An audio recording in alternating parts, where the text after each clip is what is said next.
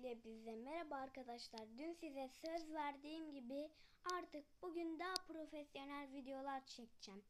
O yüzden lütfen beğenide kalın ve her zamanki gibi Deniz Ayhan'da kalın. Bay bay.